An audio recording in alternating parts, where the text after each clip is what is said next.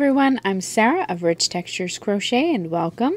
Today we are going to learn how to crochet this sturdy mesh market bag, uh, which you can see here in the photo. Also, if you take a look at my blog, richtexturescrochet.com, you'll see some other photos of this market bag there. This is an easy market bag to work. It's worked from the bottom up, from one piece, and uh, features these two crocheted handles here up at the top. It uh, is made up of single crochets and double crochet stitches. It's a fairly easy pattern to catch on to. I've worked it here in three different colors. You can use as many colors uh, or as few colors as you would like. If you are joining me for the Marvelous Market Bag Crochet Along, welcome. This is week three in the Crochet Along. And if you haven't heard of the Crochet Along yet, uh, you'll find the information for it through a link in the description of this video. Also, there in the description, you will find a direct link to the written crochet pattern that's once again on my blog at richtexturescrochet.com. For this pattern today, you're going to need uh, three colors of yarn if you'd like to work it as I have here. I'm using a 100% worsted weight cotton called Pima Cotton by Lion Brand Yarn. And uh, I'm going to be using three colors. My color A is a pewter, which is this dark gray here. You're going to need about 165 yards of it. Color B, which is this pink mulberry color, you're going to need about 100 yards of your pink. And then I'm also using a lighter gray called Stone. And again, you'll need 150 yards of your stone color. For this, you're also going to need a 5 millimeter crochet hook, such as this one here. You'll find links to these items also in the description of that video. So thank you so much for joining me while you're here. Don't forget to subscribe and uh, check out some of the other videos that you find here. Our market bag patterns today are worked from the bottom up. So we're going to start down here with our bottom. They are worked in rounds. So we're going to start by making a slip knot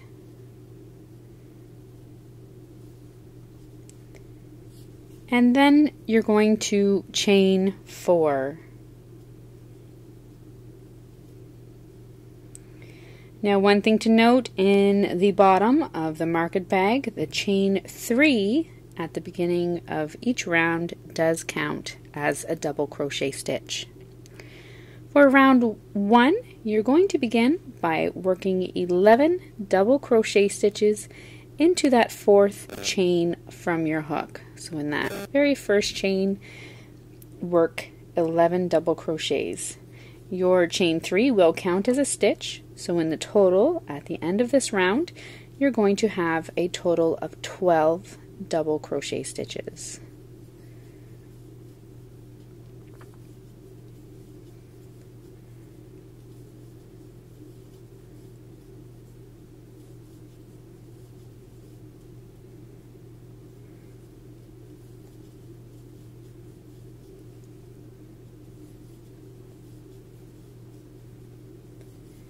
Is 9,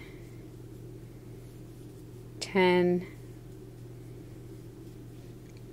and 11.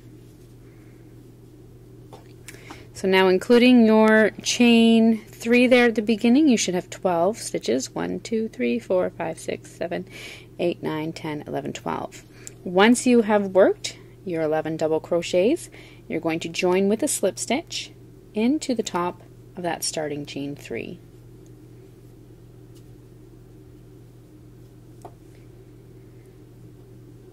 For round two, you're going to begin by chaining three and then working one double crochet stitch into the same chain as joining. So including that chain three, you'll have two stitches coming out of that first stitch. You're then going to work two double crochet stitches in each chain all the way around. At the end of this round, you'll have a total of 24 stitches. And you can join with a slip stitch at the top of your starting chain 3.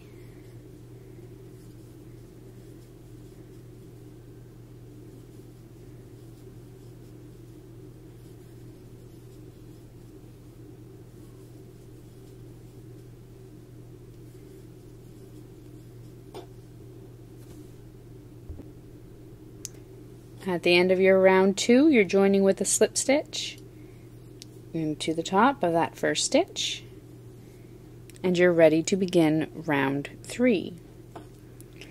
For round three, you're going to chain three, and into that next stitch, work two double crochet stitches. So you have your chain three coming out from the same stitches joining, then into the next stitch, work two double crochets. Double crochet, one double crochet into the next stitch, followed by two double crochets into the next.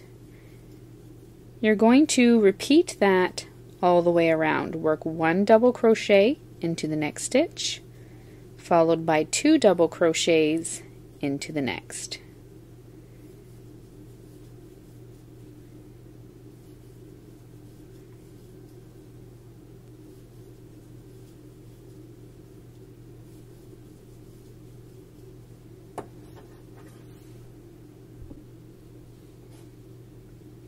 At the end of round three, you're joining in the same stitch, or in the first stitch, your chain three, and at the end of round three, you should have a total of 36 stitches.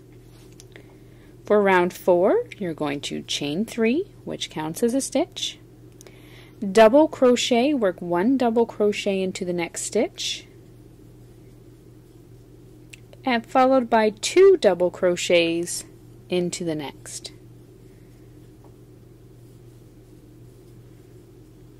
Next, work one double crochet into each of the next two stitches, followed by two double crochets into the next. You're going to repeat that all the way around. Work one double crochet in each of the next two stitches, followed by two double crochets into the next.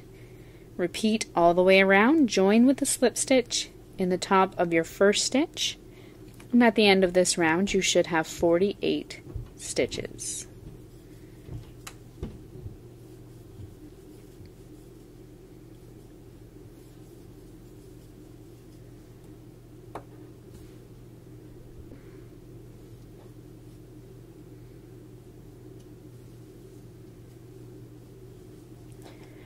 For round five, you're going to chain three and work one double crochet in each of the next two stitches.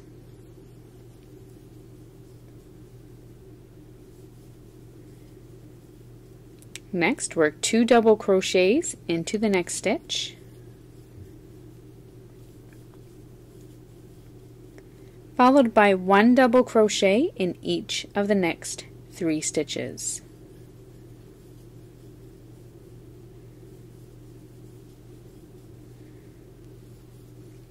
You're going to repeat that all the way around. Two double crochets into the next stitch, followed by one double crochet into each of the next three stitches. Continue all the way around at the end of this round, you will have a total of 60 stitches, and you're going to join with a slip stitch into that first stitch.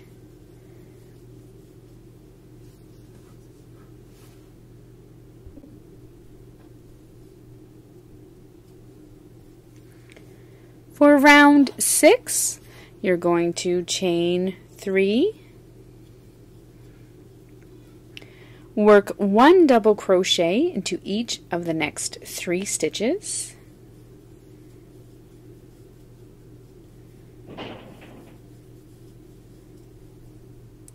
followed by two double crochets into the next stitch.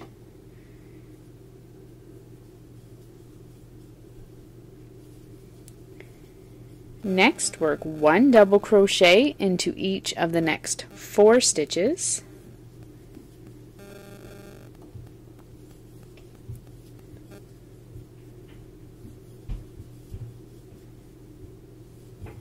Followed by two double crochets into the next stitch. You're going to repeat that all the way around. One double crochet into each of the next four stitches, followed by two double crochets into the next stitch. At the end of this round, join with a slip stitch into the top of your first stitch, and you should have a total of 72 stitches.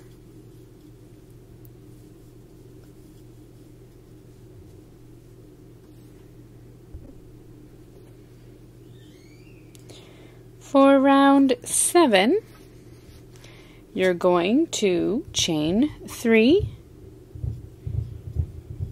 and work one double crochet into each of the next four stitches.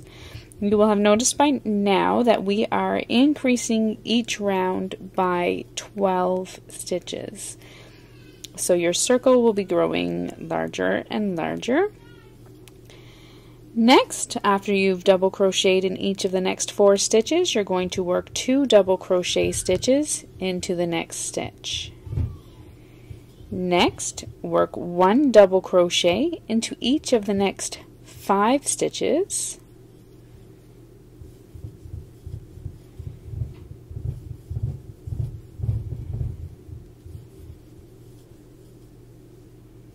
And two double crochets into the next stitch. You're going to repeat that all the way around, one double crochet into each of the next five stitches, followed by two double crochets into the next stitch, and at the end of this round you're going to have a total of 84 double crochet stitches. You can then join with a slip stitch into the top of that first stitch.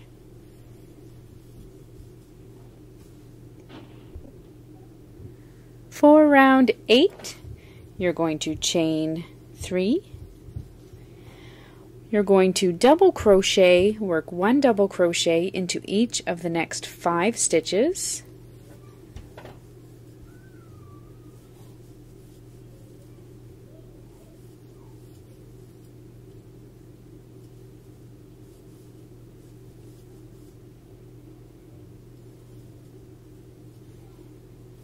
And then two double crochets into your next stitch. Next, work one double crochet into each of the next six stitches.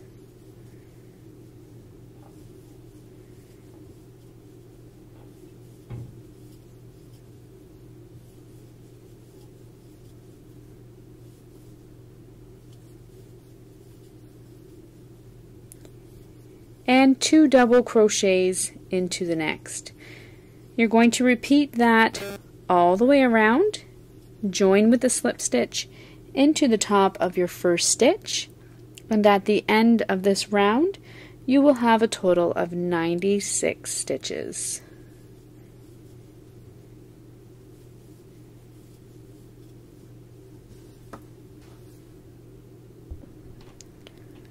For round 9, actually first. I need to join with the slip stitch in the top of my first stitch from round 8 and then round 9 you're going to chain 3 work one double crochet into each of the next six stitches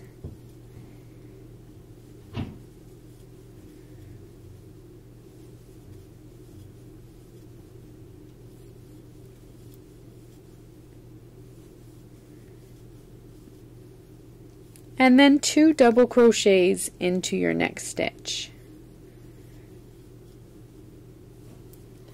Next work one double crochet into each of the next seven stitches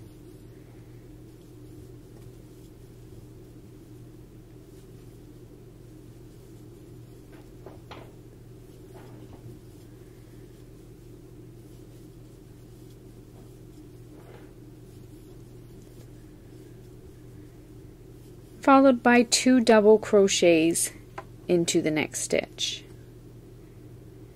You're then going to repeat that all the way around, join with a slip stitch into the top of your first stitch, and at the end of this round you will have 108 stitches in total.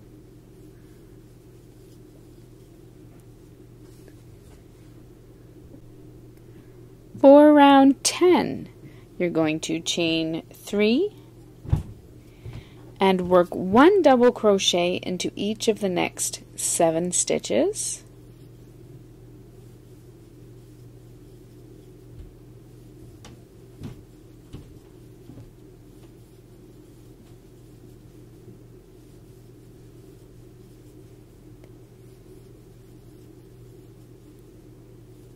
Next, work two double crochets into the next stitch,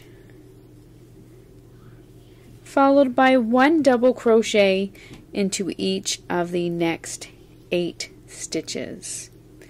You're going to repeat that all the way around, two double crochet stitches into the next stitch, followed by one double crochet into each of the next eight stitches. Uh, join with the slip stitch in that first stitch once you come all the way around. At the end of this round you'll have a total of 120 stitches.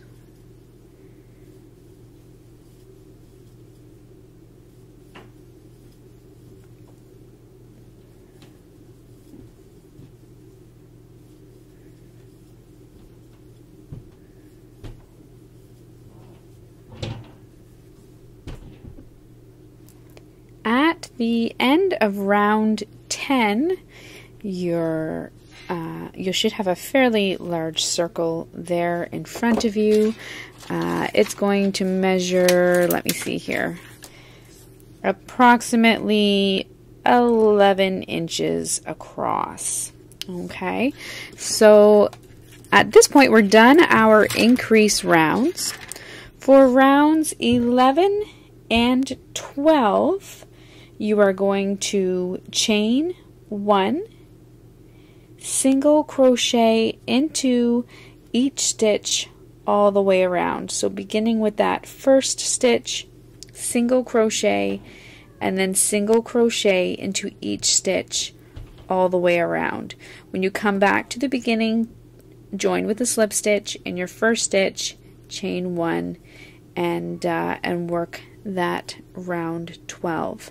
At the end of round 12, we are going to switch to our color B and uh, I will show you how I like to change colors um, at that time. So go ahead, work two rounds of single crochet stitches in each stitch all the way around, join with a slip stitch, chain one, single crochet in each stitch and uh, then meet me back here at the end of round 12. As I mentioned at uh, the end of your round 12, you're going to want to change to your color B. So to change to your color B, I have my final stitch here in round 12. You're going to insert your hook, yarn over and drop a, a loop using your color A. You're then going to drop that color A pick up your color B, which is my mulberry color, place it on your hook, and pull through. You can then pull those two little ends there and back tight just to bring the stitch in a little bit and join with a slip stitch into that first stitch. At this time you can fasten off your color A and if you like to weave them in as you go, you can weave in your ends. You're now ready to begin the bag body. So with color uh, B, you're going to chain one. This is round 13. And you're going to simply single crochet into that first stitch and then single crochet into each stitch all the way around. Once you come to that first stitch, you can join with a slip stitch into the first stitch.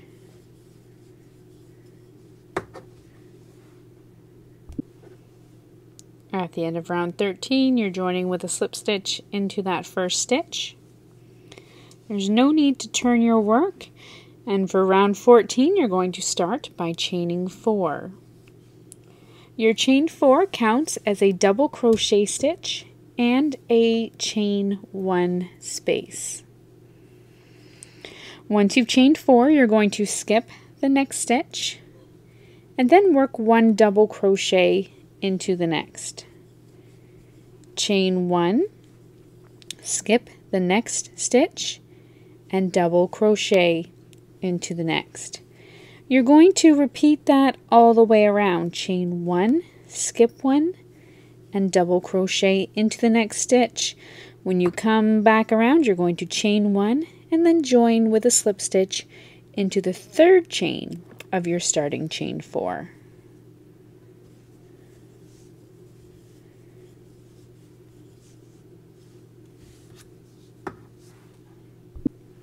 Once you come all the way around, you chain one, skip the next stitch, and join with a slip stitch into the third chain of that starting chain four.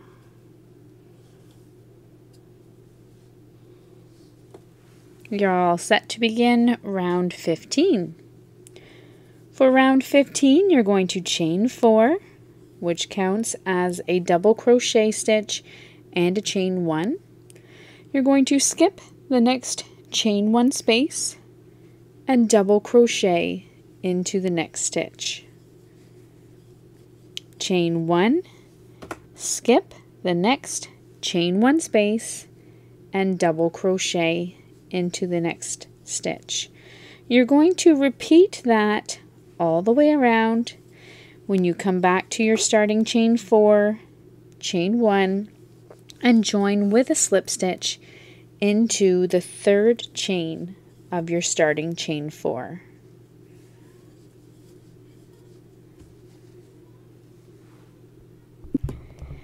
At the end of round 15, you're going to join with a slip stitch into the third chain of that starting chain four. You're then going to, for round 16, chain one, single crochet into the same stitch as joining, and now you're going to single crochet in each chain space and each double crochet space all the way around. So single crochet in each chain space and each double crochet all the way around. In your final stitch, you're going to switch to your color C and then join with a slip stitch into that first stitch.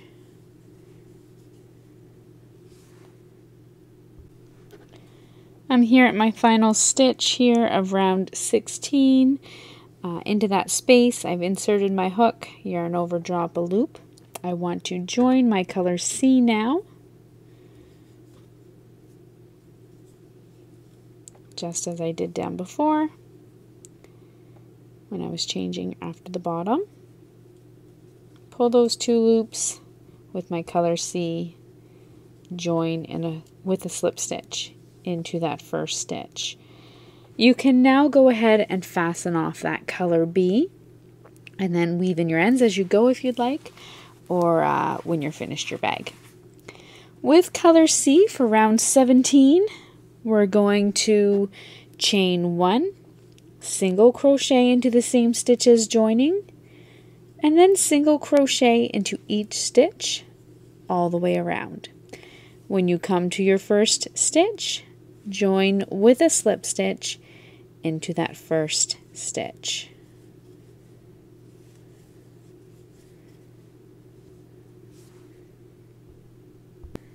At the end of row round 17, join with a slip stitch into that first stitch. For round 18, you're going to chain 4, which counts as a double crochet and a chain 1. And just as you did before, you're going to skip the next stitch and double crochet into the next. Chain one, skip the next stitch, and double crochet into the next. You're going to repeat that all the way around ending with a chain one and a join with a slip stitch into the third chain of your starting chain four.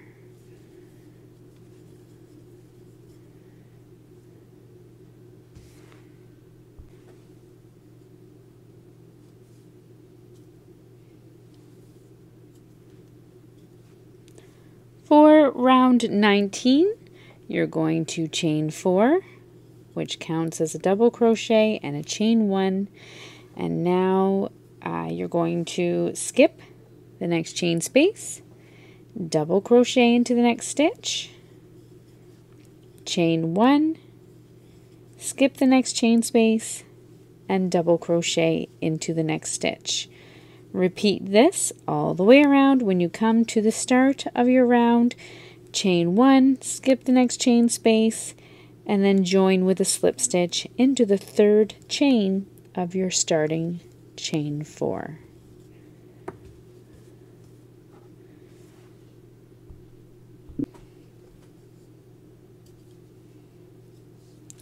For round 20, you are going to chain one. And just as you did for uh, round 16 I believe yes uh, you're going to single crochet into that first stitch. Single crochet into the next chain one space. And single crochet into the next double crochet. You're going to repeat that all the way around in your final stitch, you're going to want to switch back to color A and then join with a slip stitch into that first stitch.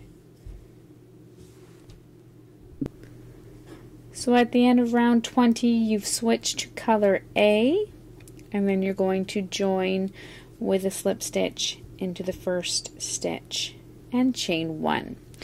So now for the next four rounds, so 21 through to 24, you're going to repeat the previous four rounds, but working in your color A. So your single crochet round, your two rows of double crochets and chain ones, and then one more single crochet uh, round, and then you're going to switch back to your color B.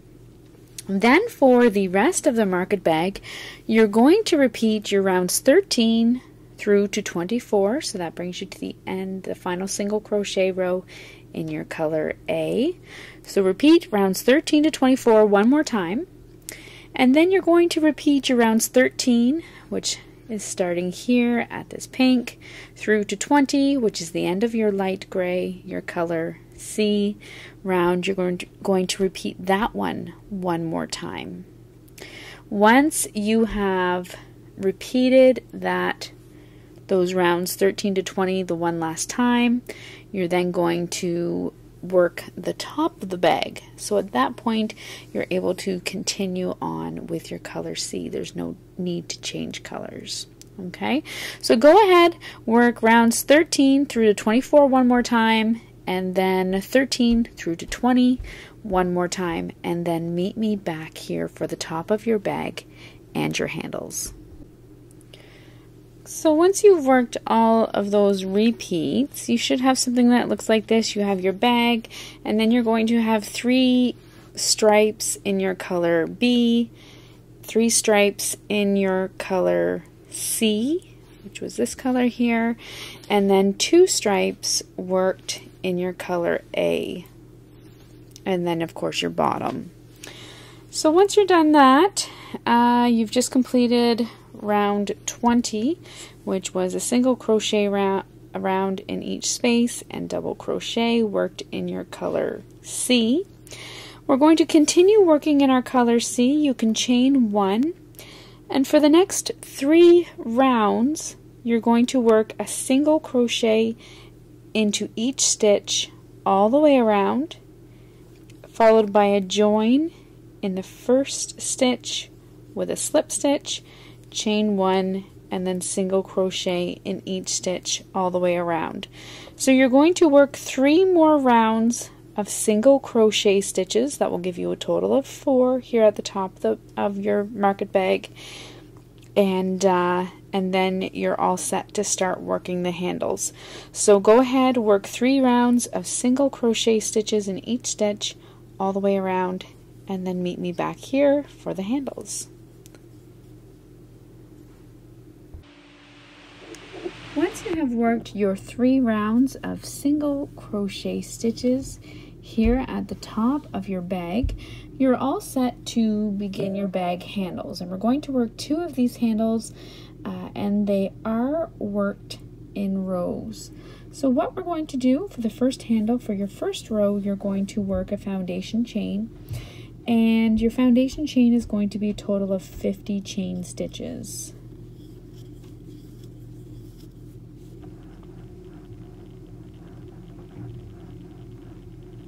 There's 10.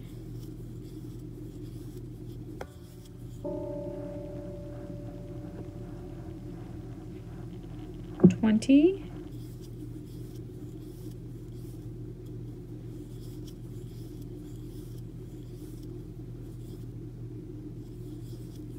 Thirty.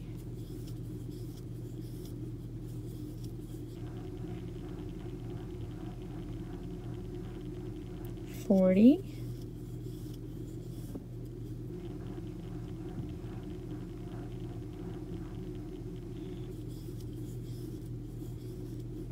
And 50. Once you have your chain 50 worked, on the top of your market bag, starting uh, in the stitch after where you joined, you're going to count and then skip those 29 stitches. So starting in the next stitch, you're just going to count 29 stitches. There's 10, 20, 29 into your next stitch so skip the 29 into the next stitch join with a slip stitch. And that's your first row for your market bag handles. You're now going to turn your bag and working in between the two joins for your handle you're going to slip stitch into the next stitch and then working along that first chain row, you're going to work one single crochet into each chain all the way across. So I like to work on those back bumps. It's not necessary. You can work in uh, whatever the part of the chain stitch that you'd like.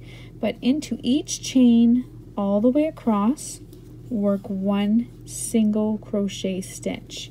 You're going to have a total of 50 single crochet stitches.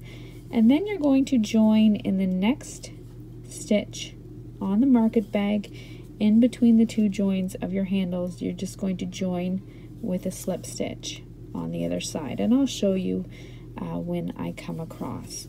So go ahead and work one single crochet into each chain stitch all the way across Once you've single crocheted in each stitch all the way across uh, and you've come to your market bag end, then working between the two joins, I'm trying to get them here both in the camera, the two joins on your market bag, you're going to slip stitch into the next stitch. And you then want to switch uh, slip stitch into the next two stitches just so we can come up to the height of a double crochet stitch. So slip stitch in the next stitch and then in the next and you're going to again turn your work. Now working into that row of single crochet stitches you're going to double crochet into each stitch all the way across. When you come to the other end, you're going to skip the next two stitches on your market bag and join with a slip stitch into the next stitch. And I'll show you that when I come all the way across. So go ahead and work one double crochet into each single crochet all the way along your handle.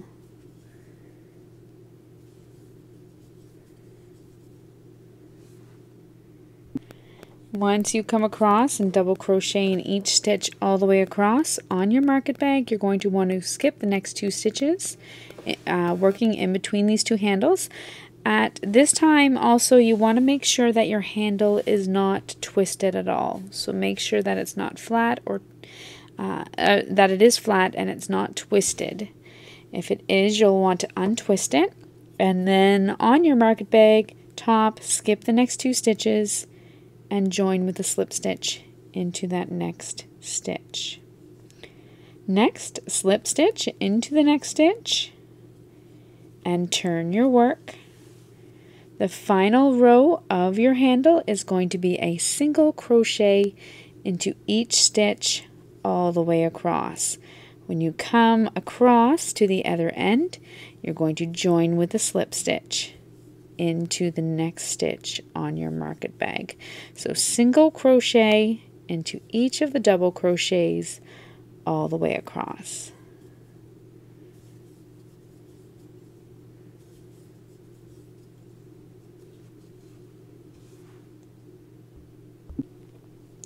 At the end of your bag handle and your final single crochet just into the next stitch on the bag body up at the top there join with a slip stitch.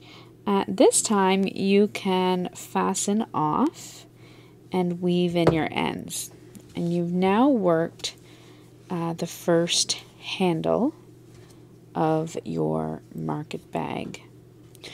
You're now going to want to repeat that process on the other side of your bag for the other handle.